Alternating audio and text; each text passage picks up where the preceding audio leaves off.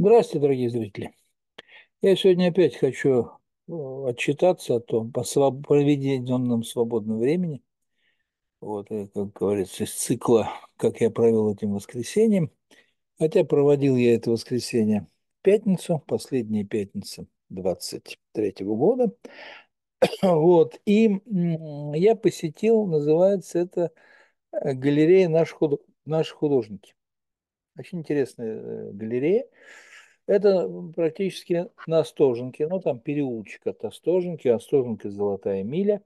Значит, идет она от памятника э, Энгельсу, хотя там ожидает, как бы сказать, ожидается, должен быть памятник Кропоткину, потому что станция метро Кропоткинская, но там памятник Энгельсу стоит. Вот. И, да, собственно, я вам могу картинки показать, я же фиксировал все это дело. Остоженка, это, как говорят, золотая миля, одна из самых дорогих э, улиц в Москве.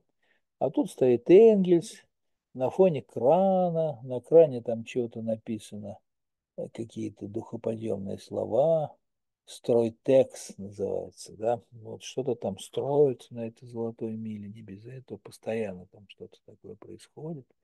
Хотя хотелось бы, чтобы был тут памятник бы, так сказать, э, князь Кропоткин, он был путешественник, я всегда, когда на Кропоткинской, вспоминаю его, вспоминаю случаи, когда он умер, это были уже первые самые годы, первые, один из первых лет советской власти, и сидевшие в то время в тюрьме левые эсеры э, отпросились к нему на похороны. Что, под честное слово, мы вернемся. Их отпустили, они вернулись, их расстреляли. Вот такая вот жизнь была в ту пору. Честные такие они были по глупости. Вот. А и всем еще мне связан, связан Кропоткин. Это роман, ну, малоизвестный роман Жюля Верна, называется он «Кораблекрушение Джонатана».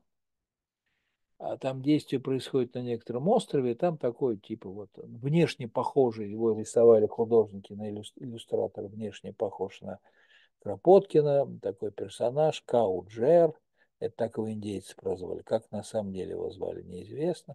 Ну, вот такая вот интересная очень история была. Я был очень впечатлен этим романом. Даже сам себя спросил, а нельзя ли мне уже сейчас вот написать по нему сочинение значит, на окончание школы. Да? Вот прям по нему хотел я писать сочинение. Такой мощный роман был. А, да, ну так ладно, продолжим тогда наше повествование. Вокруг всякие горят штуковинки, богатенько так выглядит. Это вот штуковинки горят с буковкой М метро построил около станции Кропоткинская. Тут какой-то магазин, правда, называется Воронеж. А там написано Ультима. Вот эта елка, видимо, какая-то фирма Ультима поставила. Вот. Ну, вот. ну не, не, не везде так хорошо на самом деле. Так вот, сама выставка находится в, Сечин, в Сеченском переулке. Там приходишь, звонишь звоночек, тебя то опускают. Да, билет недорогие. Не Купил там альбом. Вот это вот, это вот афишка. Его. Афиша. «Сновидение вечности» назвали выставку автора. Галерея наших художники называется. Чтобы попасть в галерею, сначала по Остоженке надо пройти мимо ныне закрытого мультимедиа-арт-музея они объявили себя, что после 24 февраля 22 года они объявили себя на ремонте и говорят, что скоро откроются. Там написано. Интересно, чего они ждут, чтобы скоро открыться. Не дождетесь, как говорила тетя Роза, когда ее спрашивали, как здоровье тетя Роза. Она говорила, не дождетесь. Это моя знакомая из 90-х, тетя Роза. Тетя Роза, моя так звали. Вот. Но это была ее, так сказать, прозвище. Больно она похожа была на тетю Розу. Вот такие вот дела. Да. Ну так э, кто такой Борис Вешников? Он вообще, счит, папа его считается из дворян, но фамилия у него священническая. И этот э, его папа Свешников учился в семинарии. Вот так уж получилось, что пришлось ему работать в советское время на заводе Каучук, механиком. Там же он встретил себе э, жену, дочку тоже механика. Она там делопроизводителем занималась. И вот родился у них сын Борис. Э, дело было в 27 году. А где-то уже в 46 году его посадили. Ему 19 лет не было. Он учился в каком-то художественном училище. И тут он попал под раздачу, что некий, а, некий ну, как сказать, заговор дворянский, вот, дворянский заговор, да, и он, ну, у него были высказывания горячие о том, что у нас тут э, у художников никаких прав нет, свобод нет, все очень плохо. Но если вы помните, я э, не так давно описывал выставку э, художника этого, сейчас скажу, замечательного художника-то, ну что ж, голова-то вылетела-то, да, Филонова, Филонова, конечно, Филонова. Кстати, у Бориса Свешникова есть подражание одной из картин Филонова, но у меня, кстати, ее копии нет, репродукции. На выставке разрешалось фотографировать только картины, принадлежащие этому, значит, галерее, самой галерее. Там был кто собственник, только вот их можно было фотографировать. То, что галереи принадлежали. Вот. Одна картина у меня есть, я из интернета скачал, ну, туда вставил. Я вам потом ее покажу. Вот, а так фотографировать было ограничено. Там я, да, альбом я там купил, конечно, купил альбом. Ну так вот, э, посадили его. Э, был он где-то в Коми, в солнечной республике Коми. Вот, там вот он работал, землекопом был на общих работах, стал доходяга, естественно, болел. Ну и тут на него обратили внимание два человека.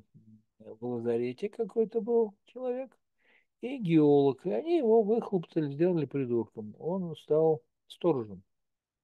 Сторожем на неком лесопильном пункте или деревообделочном комбинате, не знаю, как это у них называлось, в другом, значит, лагпункте.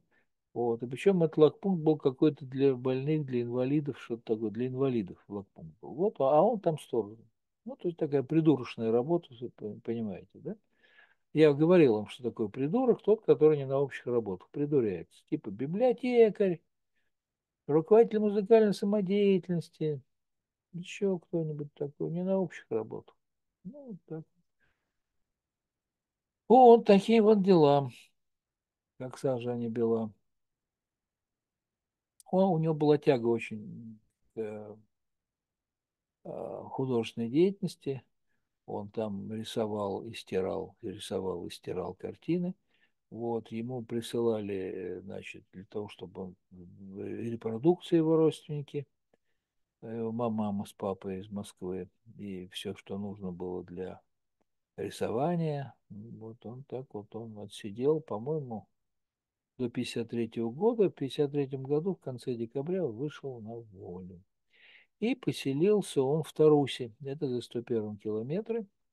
Вот это уже даже, по-моему, где-то ну, это недалеко от Серпухова, Таруса, как бы это не даже за пределами Московской области.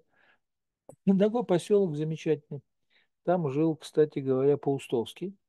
И там же жил и тот самый лагерный фельдшер, который его приютил. А, он, э, значит, с Паустовским был знаком, написал его портрет. Паустовский его подсказал в, худож... в издательстве художественной литературы стать иллюстратором книг. Типа Андерсен, Гофман, вот такие вот книги. Ну вот я похожего рода иллюстрации, пожалуй, что и помню даже где-то вот в моей практике. В моей, в моей коллекции есть такие. Вот, ну вот так вот прошло незаметно время он там работал, тут и реабилитация подоспела, по-моему, в 56-м, что ли, году его реабилитнули. Вот, и он смог даже и в Москве жить, но вот он кормился за счет издательства художественной литературы. Такое кормление у него продолжалось до начала 60-х годов, когда вот это хрущевская оттепель. И тут его познакомили с итальянским, ну, вроде как невзначай, с итальянским коллекционером. Этот итальянский коллекционер стал закупать его картины. Вот. Ну, сейчас они из-за границы возвращаются сюда. Ну, тогда была такая практика, не, неизвестно откуда брались коллекционеры иностранные и поддерживали художников нонконформистов. Он же бывший ЗК по политической статье. Он, тут его картины не продаются, не, не выставляются – Ну, он, слава богу, не сидит. Это хрущевские времена. Тогда сесть-то было достаточно сложно. Вот называется художник не нонконформист. То есть он не комсомольцев рисует, не, э, не портреты Ленина, боже упаси. Он не рисует какие-нибудь картины типа «Водители Магирусов», такая вот картина. Это вот водители больших грузных самосвалов немецких Магирус, которые работали на строительстве Байкала-Амурской магистрали. Есть такая картина. Сидят эти водители, такие задумчивые, такие художественные, художественные. Называется «Водители Магирус». Вот, вот такая вот история. Вот картина его, она принадлежит галерее «Наши художники», «Большой дом» называется. Вот, вот такой у него стиль. Вот тут поближе можно посмотреть. А, запоздалый визит там написано на стене. Вот такие, знаете, стены у домов, а, когда другой дом сносили, вот оставалась такая глухая стена, иногда с отдельными окошками. Вот дама тут стоит, тут какой-то мусор летит. Сон. Ну, это вот, как сказать, заглавная картина, можно сказать.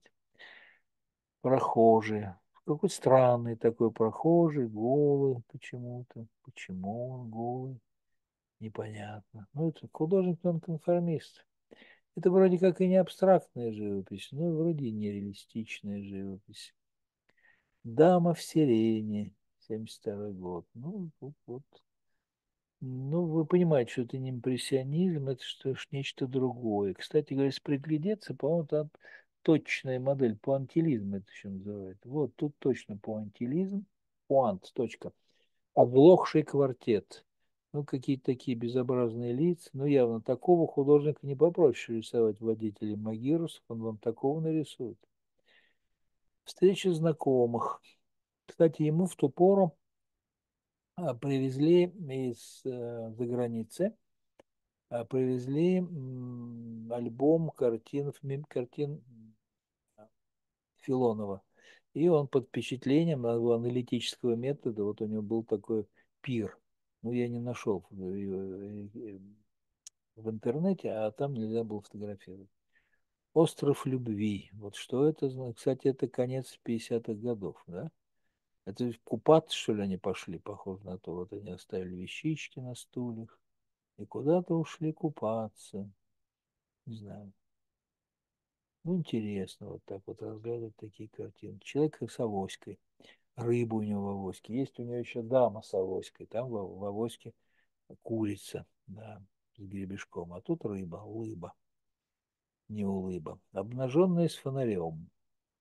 Вот, она обнаженная с фонарем, у нее на Гульфикина шлепка. Она обнаженная с фонарем. Что бы это могло значить, никто не знает. А справа вот то ли это отражение луны в луже, идущий человек.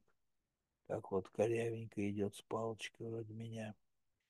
Летний театр, тоже обнаженка. Видите, он там сидит, дама обнаженная, выпивает с алкашами, да, рядом огромная какая-то ваза стилизован, кто-то уже нажрался, он сзади сидит, накушался. Вот. А тут идет какой-то театр на улице. Да? Зрители сидят. Фантазия. Это вот у реки. Видите, тут, видимо, разлив, что ли, изображается. Тут есть интересный персонаж. Сатир. Это, кстати, репродукция.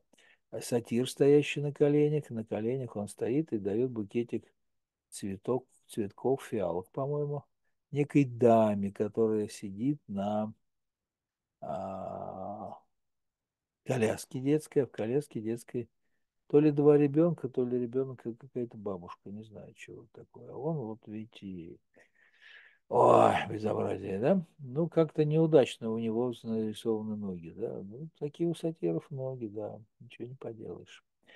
Ну вот, сходил я на Остоженку, вот она Остоженка освещена все так же или в Гош там на месте, и все, что вашей душеньке угодно. Да. Вот, посетил я музей. Кроме меня там была еще одна посетительница. Купил я два альбома. Этот альбом еще один, посвященный а, теперь уже старинным, наверное, столетней давности уже киноафишам. Это те времена, когда моя мама еще ходила, была маленькая ходила в кино. Вот они тогда все росли на фильмах американского кинематографа. Там Гарри Пиль, там еще кто-нибудь там. Все как положено. И моя дочь росла на американском кино, и моя мать на американском кино. Один я скорее на французском и на советском рос. Да, американского у нас почти не было. А вот французского типа Фантомас. Это было. Я Фантомас. Вот такие дела. Ну, спасибо вам большое за внимание. Не забудьте поддерживать меня материально. Да. Вот. Тут даже вот старшие товарищи просили меня поддерживать. Говорит, кто поддержит, того, говорит, отправим на Эпсилон Тукану жить. Шутники, старшие товарищи. Ну все, мои поцелуи вам. Да, до свидания. Деньги-то не забывайте присылать, само собой. Я же на них вот и в музей хожу, альбом покупаю и живу на них, и кошек кормлю. Пить не пью. Пока. До свидания.